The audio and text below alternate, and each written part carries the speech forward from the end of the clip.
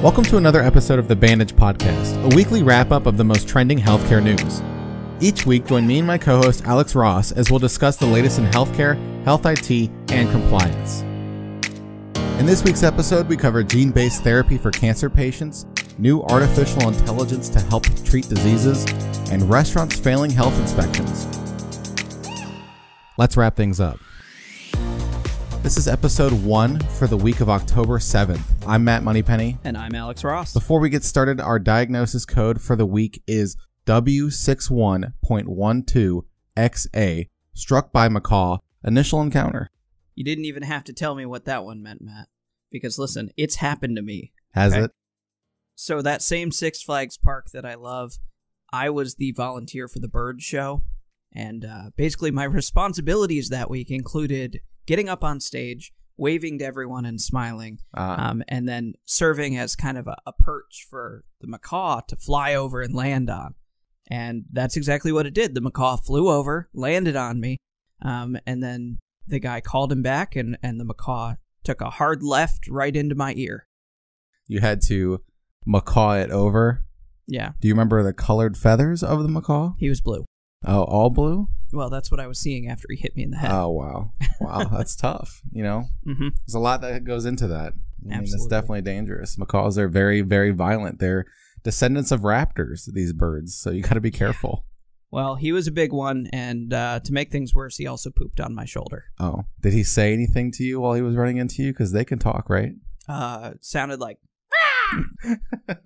All right. Well, with that, let's go into the news.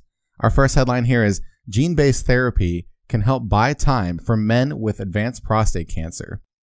The drug Lynparza is currently used to treat patients with breast or ovarian cancer linked mutations with BRCA genes. This gene mutation can also drive cases of prostate cancer. A recent study recruited men with advanced prostate cancer who had alterations in BRCA genes to use Lynparza. Results showed that compared to normal hormonal therapy, Lynparza delayed half of the patient's cancer progression. The drug blocks a protein that cancer cells need to keep DNA healthy, and the cancer cells may die without the protein. Alex, this was published just in time for the end of Prostate Cancer Awareness Month, September. So they squeaked it in there right on September 30th. Yeah, I have to wonder if maybe those are related, but probably not. In terms of positive outlooks, though, it's always good to uh, see some kind of new treatment that is proving effectiveness, especially in the realm of cancer, um, where there's just so many different variations and different genes and different structures and whatnot. And all of those um, pose a challenge to researchers. So there's another one that we've made a good step forward on. Artificial intelligence may improve understanding of Crohn's disease. Crohn's disease is chronic inflammation in the gastrointestinal tract affecting around 780,000 people in just the US. Rutgers University researchers developed an artificial intelligence tool to discover genes linked to Crohn's and accurately predict patients with the disease. While this is not a clinical diagnosis tool, further experimentation could reveal molecular reasons behind the disease. The researchers plan to use these results to discover better treatment. You know, Alex, I think we've seen a lot more use of artificial intelligence, not only in healthcare, but just across the world. And I think it is a really good thing, obviously, but a lot of people are worried that artificial intelligence is going to take people's jobs in certain sectors. Now, obviously, this isn't the case for healthcare, but it's still Mhm. something to keep in mind, and it's kind of interesting. If I had to pick an industry that may provide the best kind of longevity against a, an ever AIing world, if that is even AIing, huh? A- becoming more? A- AI dash ing. if I had to pick a, a sector, I would go with healthcare. Yeah. and really because you can't replace human interaction uh, in healthcare. I think there's something very significant to be said about the value of a human connection when trying to heal from some disease or or um, kind of become well again. Yeah, and the human connection is certainly important, but I think artificial intelligence kind of opens up windows and increases the accuracy as well as the analytical data that we can use to Mhm. help patients. So Mhm. something think- interesting. I think we'll see robots coming up in both diagnosis and in some treatments and uh, but- surgeries. but there's still going to have to be that human component because humans are so incredibly unique um, Yeah. and and challenging in many respects And when they're going through something as traumatic as like a surgery, Yep. it's important to have that human connection as well. Mhm. So that's a good point. Speaking of artificial intelligence, we also have here that it speeds up chest x rays. New artificial intelligence called the Chexpert system is a chest x-ray system that can detect critical findings in pneumonia patients in as fast as 10 seconds. Researchers used the model to examine x-ray images at Intermountain Hospital departments in Utah. It accurately identified key findings, and its performance was comparable to radiologists. Since the systems can read the images much quicker than doctors, treatments for pneumonia patients can start sooner. I think that's true that it, it could speed things up, but I think the improvement's probably marginal. There we go. We're just you know knocking people off. We can just replace them with robots. replacing them with robots. I think the main thing to take away from that whole ideology that artificial intelligence is going to replace humans is arbitrary. I think it's more like we've never really experienced a world where we don't work that nine to five day. We don't Mhm. work that eight to six day, and I don't feel like a lot of people aren't going to know what to do with themselves after that. if that does happen, certainly some jobs can be replaced by robots and others cannot but still as jobs kind of move in a different direction it kind of creates a new subset of of careers you know instead of having jobs putting the nail into the board. Now we have jobs building the robots that put that nail in, in the board. We have jobs fixing that robot. We have jobs running and programming that robot. So it's really just a, a shift in you know what types of jobs are available and i think that's okay. Yeah, that's that's not new right. especially you know you think about the industrial revolution or the creation of things like the assembly line it made us more efficient it allowed us to do more things with less people and did that take away the jobs of people yeah sure sure it did but what it did is allowed us to expand into other things like technology and advancement and i think in the long run that's okay Yeah, I agree. know, relax. It's all right. um, and in the case of medical technologies, I'm hopeful that it will make us more accurate and better at providing treatment, and it's going to free up kind of the the people resources, this limited resource that is people, to move in other directions and better society as a whole. Next up, clean eating has a new meaning. Don't eat in dirty restaurants. Recently, some notable restaurants have failed health inspections. California Pizza Kitchen in Sacramento failed its health inspection after roaches, both dead and alive, were found in the restaurant. Food was also being stored in improper temperatures. Along with that, 17 restaurants failed health inspections around the valley in Phoenix in just the past month. A food court in New York failed for flies and improperly refrigerated food. 12 Kansas City restaurants were cited for seven or more health code violations. And the list goes on. Pennsylvania has made the effort to educate the public on restaurants' health inspections with the Eat Safe PA app for iPhone and Android. Consumers can search restaurants by location for their inspection reports, including violations and inspector comments. Yeah, I think one of the things that I kind of like about certain states, what they do is they actually give restaurants and they post it on the very front of the door that says a grade based upon their cleanliness. And I think California might be one of those. I think it's a good thing because it encourages, um, obviously, restaurants to be cleaner by giving them an actual letter grade. If you get a bad grade, then people probably won't go to your business. So it's kind of a little bit of a monetary um, encouragement for those restaurants. And I think this type of app would be really helpful too. Um, but I think it'd be more helpful if it was integrated with something that was a little bit more popular, like Yelp, and maybe that's something that's coming down the line. Um, but I think that's a that's an area where something like a Yelp or Google reviews or something like that could get a lot of benefit Sure. from. Sure. Because the last thing I want is to bite into a burger and then see a roach like by my feet. Like that would be disgusting. Yeah, I'm thankful that nothing like that has ever happened to me. I know the state of Ohio, at least where we are, they publish their health results online. Yeah. Um, it's kind of a, a clunky list that's hard to get to, but they list kind of everyone who had major infractions and what kind of infractions so that you know. Um, I know last time they published this list, it forced me to find a couple new restaurants to eat at. Because there were some that were like appearing on the list for the sixth time in a row. And they're like, ah, probably don't want to Ah. eat there anymore. Six time dirty restaurant champion. now it's just a, a contest who can keep up their streak the longest. yeah, exactly. And that's not what we want. Yeah, definitely not something to be proud of. With that, let's get into our next segment. B R E A C H, Breach Patrol. It's a breach! All of the latest cybersecurity breaches. Welcome to Breach Patrol, where we're going to talk about all of the cybersecurity breaches across the world. Um, our first breach here is Alabama hospitals held for ransom by hackers. Three Alabama DCH health system hospitals had to turn away new patients after a ransomware attack which limited use of their computer systems. The hospitals are only caring for currently admitted patients, and ambulances must take other patients to different hospitals. The hackers are demanding an, quote, as yet unknown payment, according to this source. Alex, ransomware attacks are huge in the healthcare industry right now. Yeah, unfortunately, that's going to be an expensive one. Whether they decide to pay the ransom or decide to, you know, bring in some outside forces to take care of the issue, it's going to cause them a lot of, of issues. Something that healthcare systems have kind of taken lightly in recent years is cybersecurity.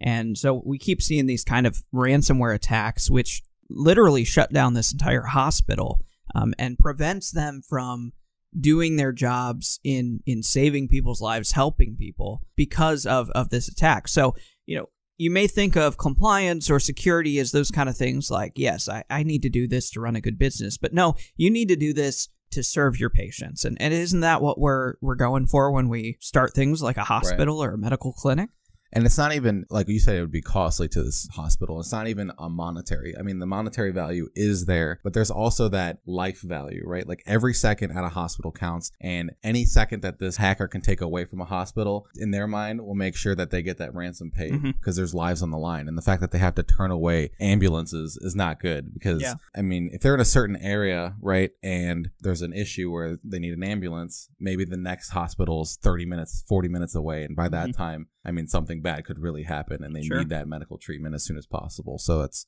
it's kind of why ransomware is so hot in healthcare is because mm-hmm. hackers see that value that these hospitals are losing. I mean, mm-hmm. it's it's lives on the line. Yeah, luckily it, it didn't seem to be too rural of a hospital in this case, but I know that there are a lot of hospitals, uh, for example, critical access hospitals, that to be designated that they have to be a certain distance away from the next nearest hospital. And so if, if one of those hospitals went down, that extra distance could literally mean the difference between life and death. Oh yeah. And and unfortunately that creates a huge kind of value for the hospital to pay a ransom like that. So take your cybersecurity seriously because you need to take patient health seriously. Yeah, absolutely.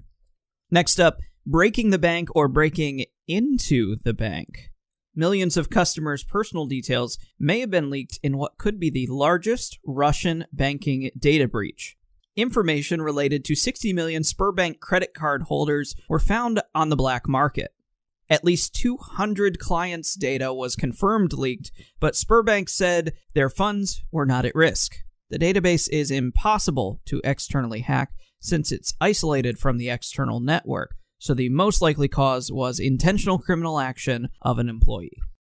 Yeah, so banking records on the dark web is I mean, you can actually get them for pretty cheap. Mm-hmm. If you get PHI in the dark web, it's a hundred times the amount of a credit card number. The reason why PHI is so much more expensive than credit card um, is because it takes much longer for healthcare companies to realize that they were breached in the first place. So hackers can do a lot more with the data that they're purchasing for a longer period of time. Whereas with credit cards, they usually realize that they were breached almost instantaneously.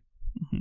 I also think it's interesting here that the database is isolated and from an external network, which makes sense from a security standpoint. But you got to make sure that you're training your employees that they know what they're doing is wrong, right?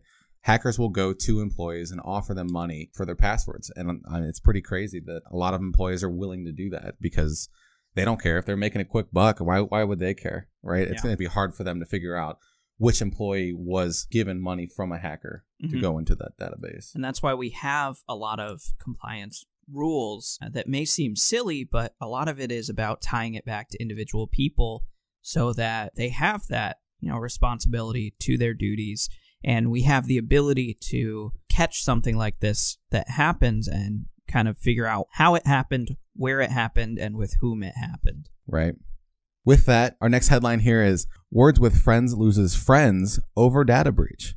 A prolific hacker reported that he was able to access data of all players who had installed the game Words with Friends on iOS and Android, amounting to 218 million users. The parent company, Zynga, does not believe any financial information was accessed and said that they will notify users as the investigation continues. This is a pretty hot topic right now. And if you are curious, breach in Words with Friends is 14 points, Alex. Wow. 14 points, 218 million users. I myself have played Words with Friends, and though I'm not very good at it, this is still kind of scary. Yeah, to kind of put it in perspective, 218 million users is like two thirds of the population of the entire United States. Perfect. So, you know, every single person in all the major cities. yeah. yeah. That's, that's a lot of people and a lot of concerning, um, especially for Zynga, which is not a, it's not a small company. No. It's not a new kind of gaming. Co- it's a huge company. It's been around since the days of MySpace, producing online games that people have been playing, and they still are falling victim to a breach like this. That's that's scary. Yeah. if if I didn't say it enough before, you got to take security seriously because Zynga is getting hacked. I mean, Yeah. come on. what what are you going to get? Whether or not I got the high score last week? It's true, maybe. That's also something to keep in mind, though, is when you're downloading these apps, a lot of times what they do these days is they require you to make an account. And the reason why they make you make this account is to get some of your data because it's so important to them and they can market to you and make more money off of you. So it's just something to keep in mind when you're entering data into new applications. I mean, obviously, Zynga is a little bit more of a, a reputable company because they've been around for a while, but maybe they're not that much of a reputable company Mhm. anymore because of this big breach. Maybe they just got lucky this far because people weren't considering my weekly login statistics as something that that they wanted to hack. Yeah. Um, And maybe- it could be something where it's like this prolific hacker is, I mean, he might be prolific, but he might be just doing this as a white hack ethical thing, which I It doubt. kind of sounded but- like just the way the story was written. You know, he he said that he was able to access all players, uh, and the hacker reported it. That's Yeah, right. that's kind of the verbiage that's got me. Maybe he did do. You know, Bill Gates. His first job came because he hacked into a computer system. yeah, there's a lot of money in that. They hired him to repeatedly hack their system so that they could continue to improve it. So, you know, maybe maybe it's one of those guys who's just hacking things to help people out. So, if you get hacked by him, maybe you should be thankful in that case. Yeah, right. Because That, that's like best case scenario. Really, don't let it happen. Yeah, I think uh, maybe white hat hacking has some market in healthcare. I think at some point hackers might be hired by big hospital systems to be like, okay, let's see if you can breach this. I don't know how that would work with HIPAA involved with all the red tape, but it would Well, be definitely interesting. I would assume it works with any other vendor.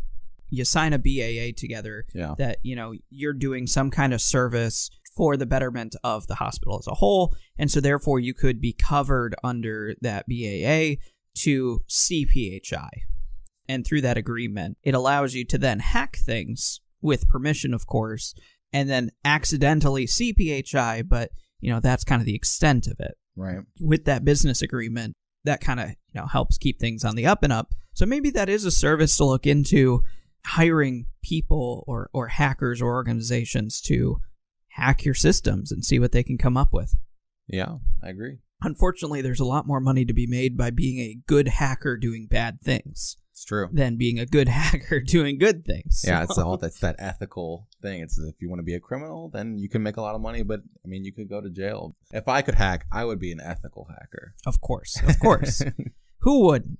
Next up, Yelp. More like help. We're being fined by the OCR.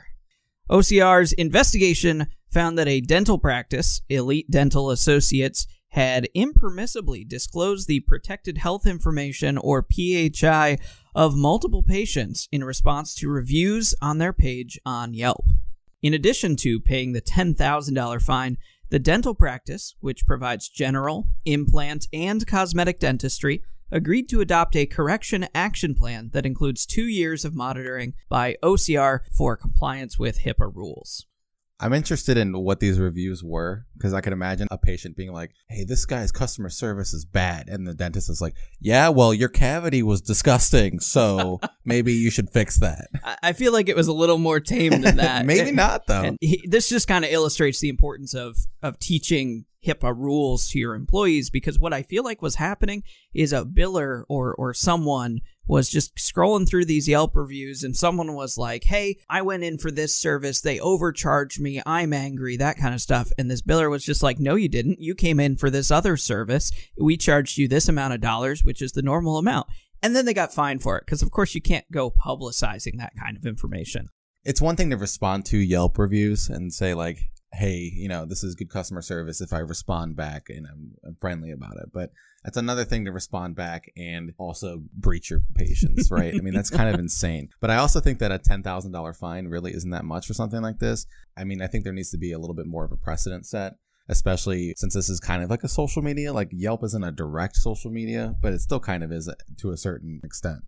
Yeah. I, I think the fine was probably based on the idea that this wasn't a willing breach. It wasn't a purposeful, like, I'm going to take PHI or use it inappropriately, knowing that it was inappropriate.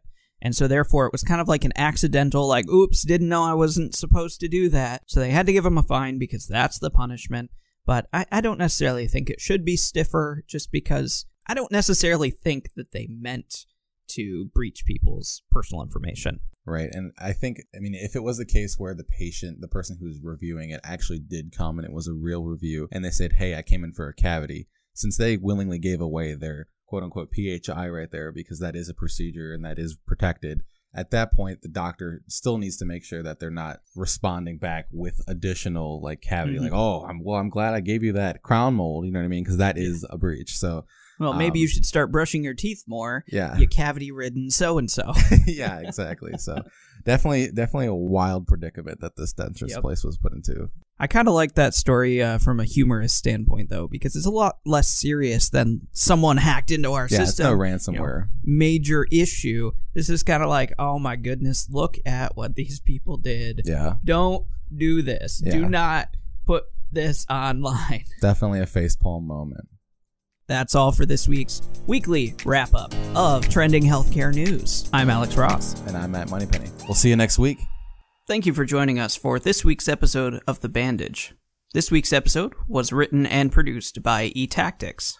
eTactics is a leading revenue cycle solutions organization committed to providing innovative, web based solutions that improve our clients' cash management and customer relationships.